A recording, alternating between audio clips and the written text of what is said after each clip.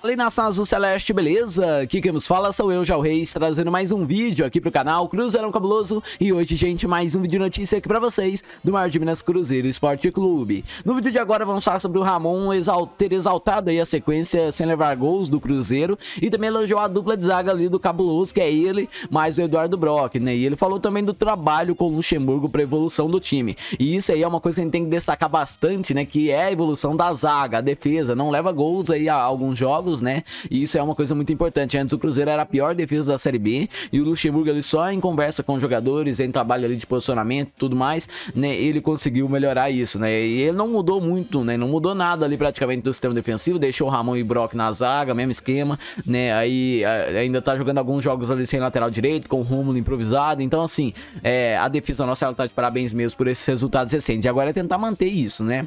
Antes de continuarmos, eu quero pedir para você deixar o like se gostar, se não foi inscrito no canal canal e é novo por aqui, se inscreve, ativa o sininho que aí você recebe as notificações de quando sai vídeos novos e fica sempre por dentro de tudo do cabuloso, beleza? Bora falar então sobre o Cruzeiro de Vanderlei Luxemburgo, que retomou a confiança e vem se reabilitando na Série B do Campeonato Brasileiro. Com três vitórias e três empates desde a chegada do treinador, o time vem conseguindo deixar de lado a pressão e render mais e melhor em campo, né? E o reflexo disso é a sequência de três partidas sem levar gols em triunfos por 1 a 0 contra o Náutico e Confiança e no empate sem gols com o CRB. A evolução do setor defensivo é um dos pontos chaves orientados ali por Luxemburgo para que o Cruzeiro alcance as vitórias necessárias para continuar sonhando com o acesso à primeira divisão nacional, dada aí a largada no segundo turno da segundona, né? O Clube Mineiro ele precisa de uma campanha impactante para ficar com uma vaga na elite em 2022. O Ramon destacou o comprometimento dos jogadores para ajudar o sistema defensivo celeste e ele esteve em campo em 18 dos 21 jogos do Cruzeiro até o momento na Série B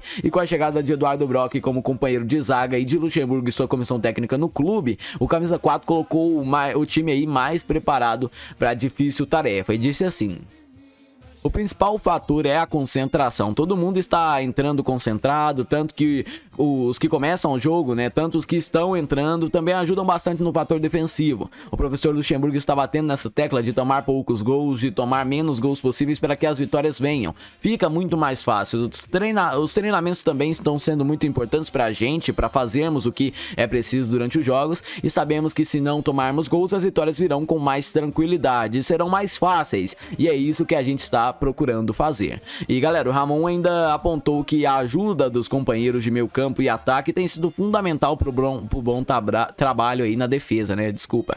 E ele disse assim é, não só a parte defensiva, mas a parte ofensiva também está ajudando a gente na marcação, para que a bola chegue quebrada lá atrás. Então é estar todo mundo concentrado, focado, pegando um pouco de experiência de cada um para fazer o Cruzeiro mais forte. E galera, o zagueiro ainda fez questão de elogiar o companheiro de posição no time. Para Ramon, a parceria com o Eduardo Brock na zaga celeste tem sido fator de evolução tanto dentro quanto fora de campo. E também com mais tempo de treinamentos, a busca é por performances ainda melhores em equipe, né? E ele disse assim: Está sendo muito bom, muito importante. É um cara que já jogou lá no Nordeste, eu já acompanhei um pouco, jogamos contra algumas vezes e estar jogando ao lado dele está sendo muito bom para mim, tanto no profissional profissional quanto no pessoal, né? Pois eu estou aprendendo muitas coisas com ele. É um cara líder de grupo que não só dentro de campo, mas fora também conversa com todo mundo. Ele procura fazer o grupo crescer e está sendo muito bom para mim. É um aprendizado que estou tendo, mas não só com ele, tem outros jogadores ali na parte defensiva que também estão procurando ajudar o Cruzeiro da melhor forma possível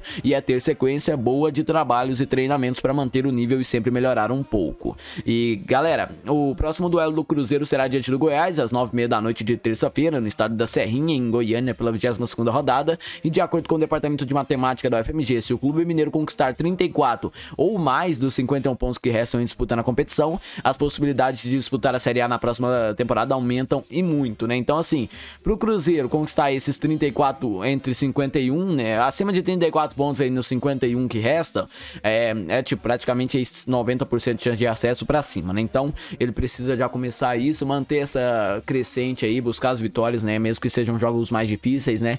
E claro, ir pra cima de todo adversário que a gente tiver pela frente, né?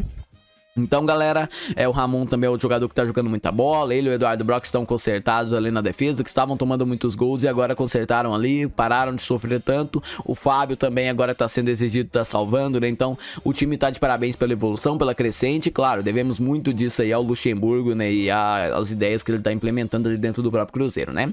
Então, galera, esse foi o vídeo de agora. Obrigado a todos que assistiram até aqui. Se gostou, deixa o like aí embaixo. Se ainda não foi inscrito no canal e é novo por aqui, se inscreve, ativa o sininho, compartilha o vídeo com seus amigos e deixe aí nos comentários a sua opinião. Obrigado a todos, valeu, até a próxima. Fui, tchau, tchau.